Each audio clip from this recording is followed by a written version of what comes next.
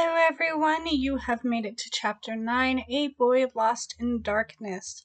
I really hope your Christmas went well, and please enjoy this next chapter.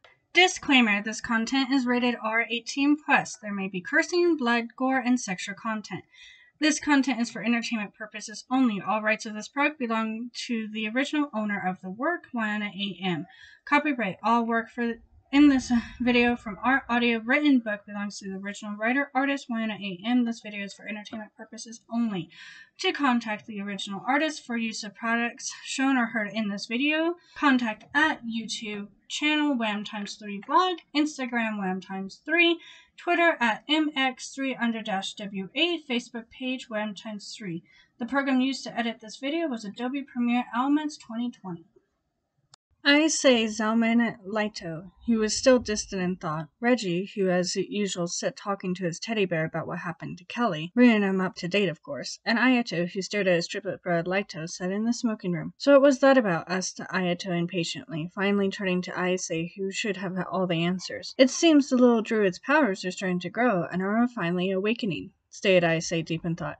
But there also seems to be something else. Something I didn't quite expect. You being surprised about something, I say? I thought that was impossible, said Zelman teasingly, but with respect. Ayato humped and turned uh, back to his brother Lito. Even I can be surprised at times, Zelman, but this has to do with your own son. Ayase glanced at Lito. Of course, you should have noticed it the first time you met the girl. Someone looked confused. Reggie turned to Teddy to watch the conversation and rested his head on the Teddy's head. I knew the triplets and the girl were connected, but not how. She is connected to all of them, but only she and Lito share a specific kind of connection. Lito finally looked up at Ayase, being greeted by those black depths. Ayato grumbled something under his breath. Lito was shaken. He was pale, even for a creature of the night. His green eyes searched Ayase for answers. You mean she's my life mate, he said quietly.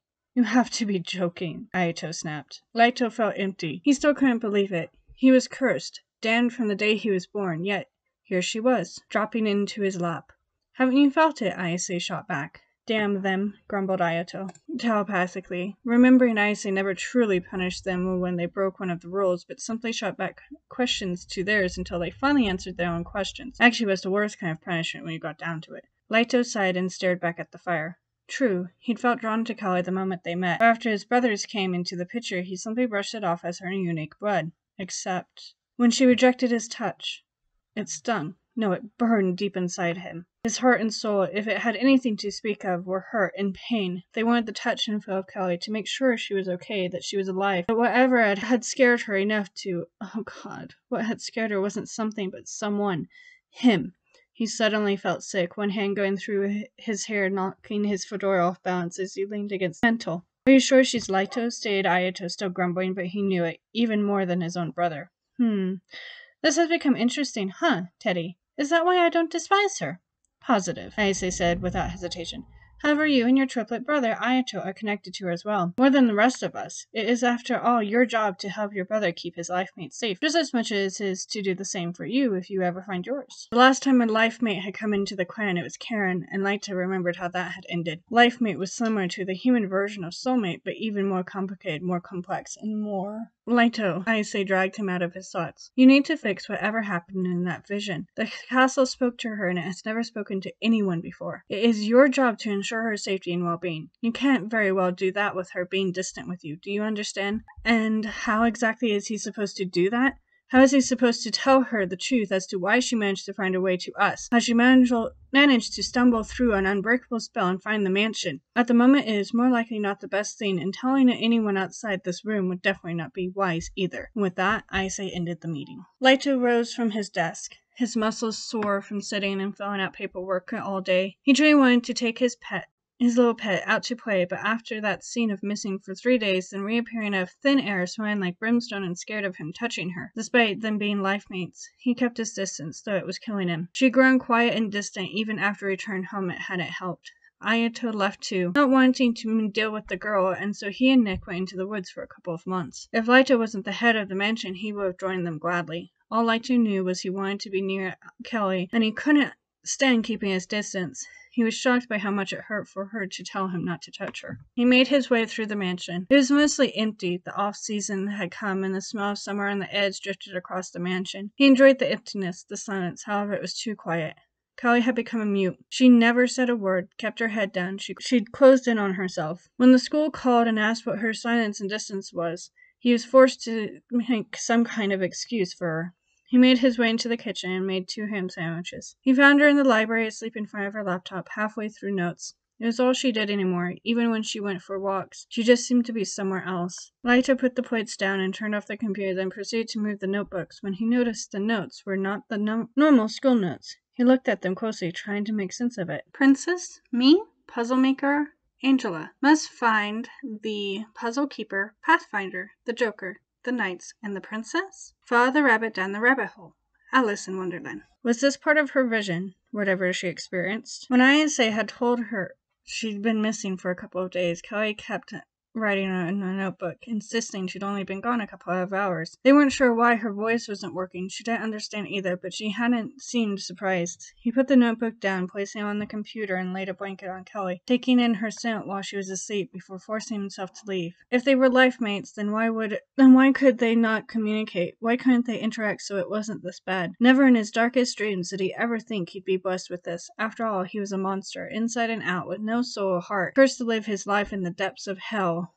both on earth and in the afterlife. Kai woke to the sound of a piano playing, a sad, lonely sound through the quiet mansion. She sat up and stretched, noting her computer notes put up neatly and the plate wrapped in plastic with a sandwich on it. How long had she been out? She wondered, getting up, grabbing the plate on her way, and making her way to the kitchen to grab a soda. She ate half of the sandwich, then made her way through the mansion, following that lonely sound, not surprised when she found Lyta playing it. His study sat on the opposite side of his bedroom chamber. It was rounded. The curved walls were covered in books of different kinds of music, over centuries, not just years. How old was Lyto, anyway? The others aged differently after all. His day of birth and death were different. Most purebreds were. Not born from this world, was what her mother used to tell her. The castle land on the vision seemed like from the days when knights and kings ruled the world. His eyes were closed, and as the sun rose against his back, the sound only seemed to grow lonelier. Kelly walked in slowly, quietly, like a shy, scared puppy. She again she didn't get the flash of the vision of him killing his mother. She rocked slightly, thankful that all she saw was Lito and she was drawn to him and his music. He is the boy abandoned and betrayed by his own mother. Sure, he killed her, but he was much like Kelly, an unwanted child, lonely, punished for being unwanted. When all your father wants is a son and all his wives and mistresses give him his, da- his daughters, your life becomes hell not only for the daughters but also the mothers. Her thoughts began to trail, returning to those dark times of her early childhood, a childhood that did not exist. But something told her she had had a happy childhood too, before it was taken from her. Fitting for us to meet here, my little pet. Those words, despite being solemn, held a lot of meaning in them. Yes, she was his, but not in a bad way, right? She stepped towards him quietly and sat down next to him, facing out the window, placing her head on his shoulder. A very intimate position, and not like with her and Aito, where it felt like it was between siblings. No, this was different. Ever since that vision, everything was different. She enjoyed feeling his warmth, despite what myths supposedly said about vampires being cold corpses. He was warm, and so were his brothers. Maybe it was a Clark thing after all. His brothers and father was the same, while all the other vampires she met all were icy cold. No, it was just him. This was Lito, warm, welcoming in a strange, perverted way, but she liked the feel of the slight movements he made as he played, the way he smiled. Kelly took in the tune he was playing and smiled. Isn't that supposed to be played in a guitar? She asked herself thoughtfully. Lito stopped playing and turned towards her, his eyes filled with a hesitant curiosity, his expression showing shock. She moved her head slowly, looking at him, wondering what was wrong. Then she started to realize why he was looking at her like that. She hadn't spoken, her lips hadn't moved, she was simply thinking to herself. But Lito had heard her. She started to panic, but Lito grabbed her shoulders. Don't you dare, he hissed. If you draw any further away, his voice cracked with emotion, I don't know what I will do. I can't lose you again. Again? What did he mean, lose her again? she wondered. He was trembling, and the same anguish that filled his eyes back at Ayase's castle returned. She bit her lip, the only thing she could do. His eyes averted to her lips. Before she knew it, he had captured them with his. It was a deep, passionate kiss as his tongue danced with hers, her body filled with tingling warmth. She felt his longing, his pain, and his fear. She felt the blood drawn from her lips as he pressed hard enough she could feel his fangs. Her tongue danced over them, filling the sharp, predatory part of him. He smiled against her as they fell onto the seat of the piano. His arms wrapped around her waist as hers wrapped around his shoulders. When he finally released her, both of them were out of breath. His eyes had changed almost like that boy, loving, innocent, not able to hurt a fly, slowly appeared in his eyes. Lyta brought her to him, holding her so tight she couldn't breathe. You are mine. Don't you ever forget that, he whispered harshly in her ear, his breath teasing her skin. I forbid you to leave. If you do, I will hunt you down myself. Do you understand? Kelly's eyes filled with tears that teased to fall as his fangs sank into her throat. I understand, she thought, her tears falling as she stared up at the ceiling. Mommy? Mommy, are you there? Mommy? The voice was quiet, like a small child. Kelly looked around the empty, dark forest. Mommy? he cried. Hello? Hello? Who is there? Where are you? Kelly looked around the empty forest. It was dark, foggy, and the trees seemed to twist in an unnatural way. There was no life, just dark emptiness. Are you my mommy? The voice was closer. Where are you? she cried out. You're not my mommy. The voice came from behind her. Kelly spun around to find a small boy, no more than five years old at the most, dressed in torn, dirty clothes. His blond curls were tangled in an endless nest of rats with leaves and sticks. His blue eyes were drawn gray, empty hollows, his skin deathly pale. Are you my mommy? he asked, but wasn't staring at her as he said it, but through her. No, but I am a friend. She smiled, extending her hand out to the boy. Come, let's go find your mother. The boy rubbed his eyes. A friend? Yes. The boy went to grab her hand, then hesitated. You smell really good. I am really hungry. The boy looked up at her, and instead of a boy, it was a monster. The eyes were completely gone, nothing more but black hollows, and his teeth were now sharp fangs covered in thick white saliva. I will feast until there is nothing left. His voice changed, too, almost like a demon's. The boy lunged at her. Kelly screamed and punched out. She hit something, then she landed on a hard surface. She opened her eyes and found herself staring up at the ceiling. She was on the floor and her heart was pounding so hard it felt like it would explode. She heard something on the other side of the bed. She jumped and scooted away so she could get a glimpse of what was on the other side of the bed. A white hand sat on her covers. Two angry green eyes stared back at her. She breathed, not remembering holding her breath. Jeez, Pancake, I just wanted something sweet, Ayato grumbled. She felt a light she felt a light throbbing from her shoulder and grabbed it and drew her hand. Blood. Ayato slid over the bed and landed in front of her. He pushed her to the floor and sank his fangs into her throat painfully. Out of one nightmare into another, she thought, thinking about the boy. Hey, Ayato, can I ask you a question? All she got in response was the slurpy noise of his drinking. Was there ever a boy with blue eyes and blonde curly hair that got lost in the woods around here? He released her and looked at her questionably. Human? he asked. She shook her head. He sat up and rested on her pelvis, his weight keeping her pinned to the wooden floor. The fire crackled in response to dying out. The room was pitch black, and Ayato's face seemed to almost glow as shadows danced along his pale skin. His skin was bruised and scarred, showing he spent his lifetime outside. His knuckles and hands were covered in calluses. She'd often find him practicing his sword fight in the morning or throwing punches. He was always keeping in shape, much like a fighter, almost like a knight. I cannot answer your question, he said. So there was. You're an outsider. He looked at her, his eyes giving her a warning not to press the subject more. Despite being curious, she knew Ayato had the worst temper of the brothers. Can we move to the bed? It's cold and hard down here. He looked at her for a moment, then stood, grabbing her wrist and helping her to a standing position, before he flung her to the bed, drew the blankets back over her, and laid down next to her, holding her in his arms. She knew he slept like this when he was upset about something. Why are you asking about the boy? he said against her hair. Kelly bit her lip. No reason, just curious. But then again, according to Grimm's fairy tales, children go into the woods and get eaten by the monsters within them all the time. He humped, not being amused. Pancake, you should know by now. We do not eat children. He trailed off. Even when we destroy a whole city, we leave the children alone, no matter how annoying. He pinched her and she squirmed. He seemed to be trying to comfort her. Already knew what he stated was true. She had witnessed, she had witnessed it firsthand. There are other monsters out there in the world too, she stated before snuggling up against him, wanting the comfort of not being alone after that dream. She heard his steady, quiet breathing of sleep. Pancake, said Ayato tiredly impatiently. You need to stop reading those damn horror stories. They keep giving you nightmares. Zelman's mansion was one of the first European buildings built in Japan, and it showed. Much like the triplets mansion, it was like stepping back in time. The estate wasn't as large since it was in town when it had been built, and court- its courtyards, which were surrounded by a large thick brick wall enclosed by a black gate, was rather impressive looking. The estate, the estate was one of the 19th century houses brought over in the Meiji era period over hundred and fifty years before. It was a Victorian with Japanese architecture smoothly added. The roof had the rafters and curves of a pagoda, however, the wood, wooden and stone walls had the Victorian style. The rectangle windows shimmered out of the three stories of the house, overlooking the lush gardens. The curves of the two end walls, taken from the watchtowers of a castle, had vines dancing up their walls. Wait until you step inside, Patron mused Lyta as he watched the girl who was practically glued to the tinted window. Ayato Huff, not at all pleased to be visiting his father. Kyle glanced over at Laito, searching his eyes for the answer that had not been answered. Why did they leave for Japan right at the start of summer vacation? She had pressed him countless times, but Laito simply stated he wanted to get away for a while. Though she knew that wasn't the full truth, something nagged at her that there was more to the story. A servant opened the door. Laito stepped out first, then offered his hand to Kyle, who took it, still looking at the mansion and gardens at all, though he knew she was also trying to figure out why they were even there. The inside of the mansion was, was similar to the outside, a mix of Japanese and Western architecture, white walls which slid open to show grand rooms of different types.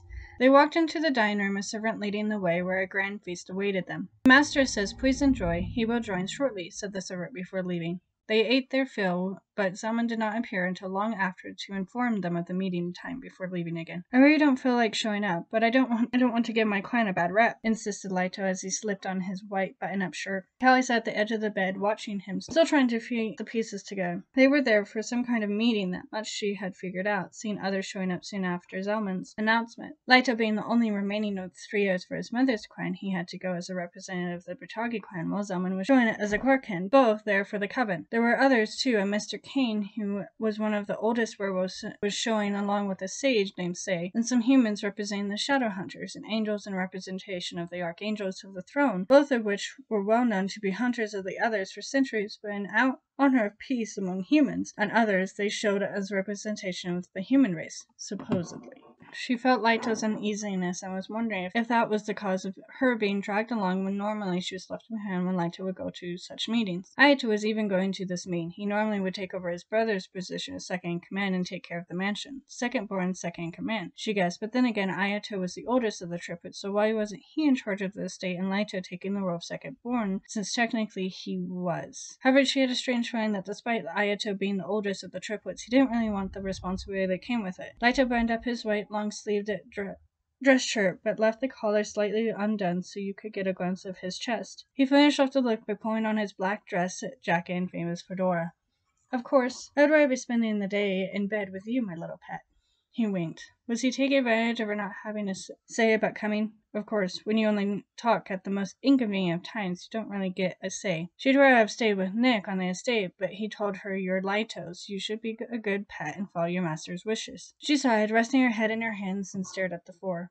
Laito sat down next to her on the bed, slipping on his shoes and tying them, humming as he did so. He turned to her then, and she flinched at the look in his eyes possessive, dark, and hungry. They danced along her skin as he seemed to debate something. Are you sure you won't be all right on your own, my little pet? His eyes flashed to look into hers with concern. She shrugged. You mean to order you anything before I go? She shook her head. He sighed. I would wish you'd talk to me more often. He nearly growled that last part. Guess it can't be helped. He stood. I still don't like leaving you alone, but you should be safe here. My father doesn't let just anyone into his house. He kissed her forehead before leaving. The feel of his lips on her flesh lingered long after he'd left. Mommy, Mommy, where are you? Kelly sat up and looked around the empty room. The mansion was mostly empty. Everyone important at the meeting and everyone else either asleep or doing what they did during the day. There was not a sound from outside the door. Had she imagined that? Mommy? Mommy, are you there?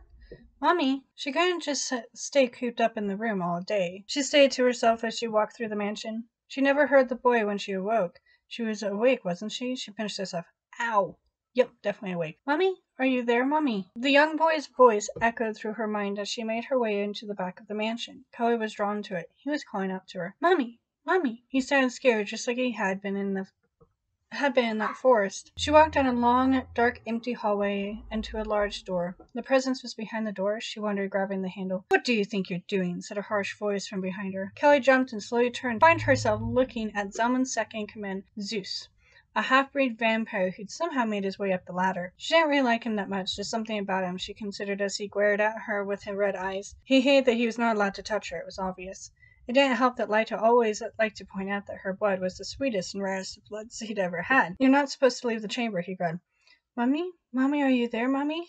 That voice again. She glanced at Zeus, who showed no indication that he'd heard anything. Go back now, he commanded with warning. Laito walked into the room, exhausted and obviously irritated. Kelly was sitting on the bed watching a movie, but didn't seem to be paying much attention. That voice of the little boy kept calling out to her, but she didn't want to deal with Zeus again. She was starting to gain a huge migraine as well. I'm home, Petchun. Did you miss me? He teased, flopping down next to her, brushing her hip with his fingers. Kelly glanced at him, then went back to look at the movie. Are you hungry? She shook her head. Are you tired? She shrugged. Not being able to talk or curse, more importantly, was becoming a big pain in the ass, she concluded. Is something wrong? She sighed and grabbed a paper and pen, which sadly was the only way she could communicate with anyone except telepathically with Leito.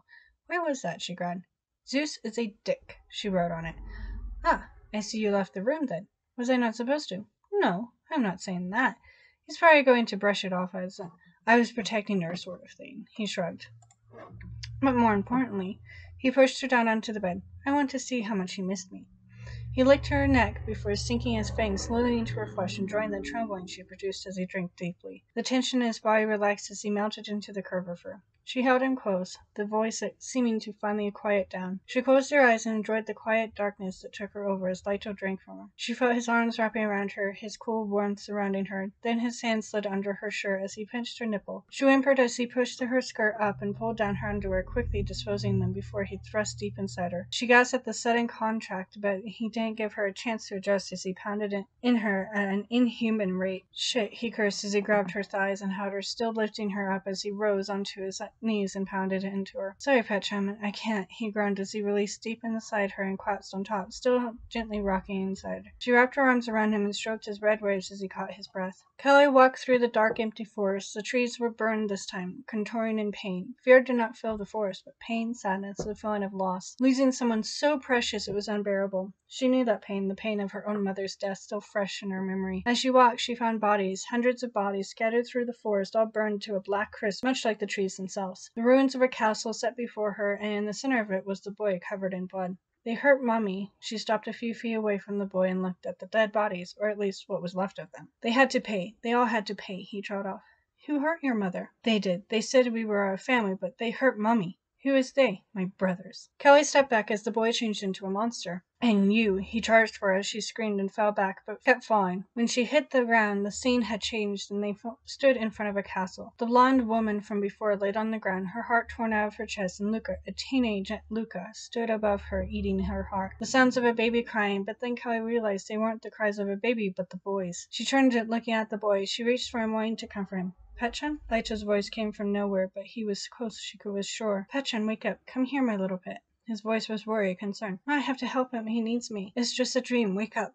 The ground started to shake and crumble under her feet. No, he needs me, she said, trying to get up and go to the boy who was fading further and further away as she sank into the ground. Kelly, wake up. Come back to me. His breath brushed her ear, her cheeks. She felt him kissing her, her forehead, her cheeks, her lips. Kelly jolted awake in a gasp. Leito sat above her, his green eyes capturing her purple ones, and she froze. It's okay. It was just a dream. It was not real. She slowly sat up and Leito let her, but did not move from hovering over her. His hands lay on either side of her hips, and his eyes never left her face as she rubbed her arms and looked around, remembering where she was. Here, he handed her a glass of water. She took it in her shaking hands and took a couple of sips. She kept looking around. Is it too dark? She shook her head. She had to ask. She had to force herself to see it. She had to look beyond that demon into the young man who sat before her. No, not a man. A pure blood vampire who had taken her in, who had protected her from the wolfwind and hid her. She wasn't sure how, but she knew she was safe with him. Her hand reached out and her fingers pressed against his lips. His lips kissed her fingers gently and lightning flashed through her body, reacting to him and only him.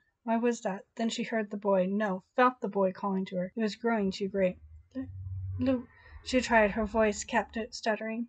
Leito watched her patiently, waiting, eager even. He needed this too. He needed her to talk to him as much as she needed to talk to him. She took a deep breath and then tried again. But what happened to Eve?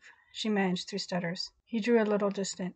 Did did Lu- Luca Leito looked away and nodded. Luca killed Eve. He tried blaming on my mother, but he was the one who ripped out her heart in the end. Do, do you have a baby brother? Besides Reggie? She nodded. Yes, Eve had one more son before everything happened, and this angered my. That woman who attacked her out of jealousy. Luca took advantage of it.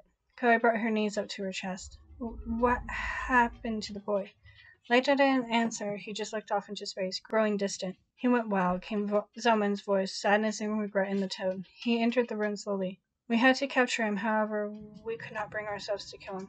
Where is he? No stutter. Yea, she mentally patted herself on the back. Petchun enough. Go back to sleep. Leito stood and left the room. Someone looked back at her. The nursery, but it would not be wise to go near him, he warned before leaving as well. Someone found his son on a balcony looking up at the empty night sky. Why does it worry you, my son? Leito looked down. Her memories are returning. Yes, and with their return, so were the, her memories of the betrayal, the loss. Leito grabbed the ledge and squeezed. The stone creaked under his touch. She will begin to question why I did not search for her. The stone cracked. Zelman placed a gentle hand on his son's shoulder. She will also remember your love. Leito looked up at Zelman. She will remember a childish promise, Leito snapped. She will remember her Prince Charming. Zelman left his son. Kelly stood in front of the door. She put her hand on the door handle, then quickly glanced around before she opened it and walked in. She was greeted by a dark and dusty nursing room.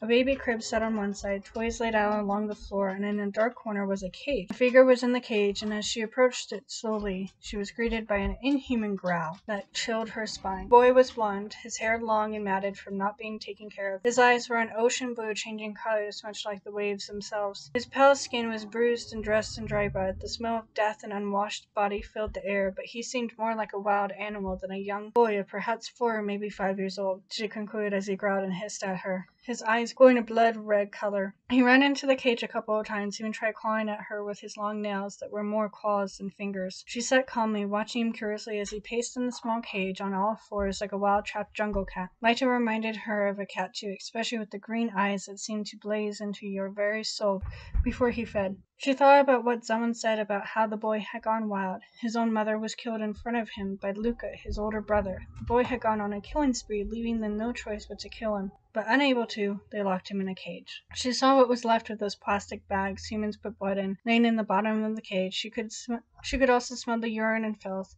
How could she get through to this boy, a lonely child who witnessed his mother's death? She thought back to her own mother's death, how she tried to warn everyone, only to be left alone in this world. She took a breath, taking the memories and the tears that tried to fall, and buried them deep within herself. I understand how you feel. The boy growled and snarled. She shifted so she could rest one hand on her knee. My mother was killed in front of my eyes by the very people who I had called family my whole life. The boy stopped briefly and seemed to listen. It hurts to lose someone, but it's even worse when that person that took the loved one away from you is someone who you trusted, who was family that you loved. You want to run and hide, even lash out at anyone who approaches you. The boy sat down like a little puppy and listened, his head leaning to one side. Lito appeared in the ajar doorway and stilled, watching curiously. My mother was gentle, patient, and she always smelled like peppermint. She smiled sorrowfully at the memory. She read stories, mostly Grimm's fairy tales, because they were closer to the real world than fantasy. I think it's like ironic I live with vampires now. And if I had a nightmare, she would sing to me until I fell asleep. When I got sick, she wouldn't leave my side. Was your mother like that? Did she sing to you? Did she read? The boy copied her position and thought quietly. Silence filled the air between them, but it was a thoughtful, peaceful silence. Leito watched as Leito stepped out. Leito put his fingers to his lips and continued to watch. My mother smelled like vanilla. The boy's voice was quiet, hoarse even, but Kelly looked up. He seemed like a normal boy, except he was still in a cage and still needed a bath badly. She was quiet except when getting at Edgar about not behaving and acting like an heir to the throne. Was that why Edgar was so entitled? She used to set chimes up by my crib so when the wind would blow they'd tinkle like little fairies. Her voice was like the chimes, not quite like Lady Angela's, but she had a gentle fierceness of her own. I think you'd like her. She was very pretty too, blonde, blue eyes, tall, slender. She kept her hair up in a bun, braided bun, and she liked the color blue. Would you like to go visit your mother? Ida wanted to say something, but Leito put his hand on his brother's mouth, who glared at him. We can visit her shrine? The boy smiled and lined up. Yep. But first, you have to make me a pinky promise. A pinky promise? The boy questioned. Yep, it's a promise you make with your pinky that can never be broken. Kelly wagged her pinky finger at the boy. Ah, okay, what do I have to promise? You have to promise me that when I let you out of this cage, you stay a little boy. Do you think you could do that? The boy thought about this really thoroughly, then he looked up at Callie and her extended pinky finger. Can you promise me something too? Sure, anything. That I hopefully won't regret, she finished not out loud. Can you become my big sister? Callie was taken aback. You remind me a lot of my big sister, Angela. She was much like you. I am sure she won't mind. The boy smiled brightly. Callie hesitated. All right, but I will not replace her. Deal? Deal. The boy wrapped his finger around hers, and they said promise at the same time. I'm Kotaro. What's your name? Callie. She smiled as she slowly undid the multiple locks in the cage, breaking the spells as she went. When the door cracked open, she extended her hand out to the boy, who gladly took it. And let's get you cleaned up, and then we can pick up some roses for your mamma. Can we visit your mamma too? Maybe someday. You see, my mother isn't here like yours. Oh, where is your mamma? Kelly grew quiet, then said, She has a secret place up in the high mountains. Whoa, really? Wow. I wonder how high the mountain is, he said thoughtfully as Callie took him into the bathroom connected to the nursery and started a bath. She washed him up using a second bath to make sure he was clean. She poised his hair in a low ponytail. Then they picked out some clothes they found in a drawer in the nursery and made their way to the family cemetery. Aito and Haito closed on their heels. The two picked some roses, white ones, because that was Eve's favorite color of rose, then made their way to her shrine. The shrine was small but beautiful, done in white marble with angels and roses. A picture sat in the middle of a Eve, a portrait of her sitting reading a book. Well, Papa says I looked like her. What do you think? She had to agree, but the eyes were different. More like Edgar's dark, empty depths and Kotaro's bright summer ocean blues. There always seemed to be sadness, even loneliness to her. I think you do look a lot like your mother's, smiled Kelly, handing the roses over to Kotaro so he could place them on his mother's shrine. Say, how did your mother look like, Sissy? It had been a long time since she thought about her own mother. She had black hair like a raven's and brown eyes with a hint of gold. Her skin was lighter than mine. She had a slim body, too, like a ballerina dancer. Well, she used to be one, that is. Almost joined the German ballet. Wow, really? What happened? Why didn't she? She had me, shrugged Holly. Oh, really? Are you a ballerina, too? No, my body never be wanted to be that graceful. Hmm. Maybe you're a singer. I don't know. I never tried. They made their way back to the mansion. Maya watched her mouth wide open. She looked at Laito and Ayato, who put their fingers to their lips and continued to watch as Kotaro gave Kelly the grand tour of the mansion. I think you look like your mother. Kelly shook her head. Everyone told me I looked like my father. Hmm. Did your father have black hair? No, brown. Then I think you look like your mother. Your hair is black, like raven's feathers. There you have it, chapter 9 A Boy Lost in Darkness. I really hope you guys enjoyed and had a wonderful Christmas. And please enjoy this weekend and stay safe. New Year's is coming up next week, which means we're all going to be busy celebrating the coming up year, me especially since I have a New Year's baby. So please take care, be safe, and love you, my sweeties.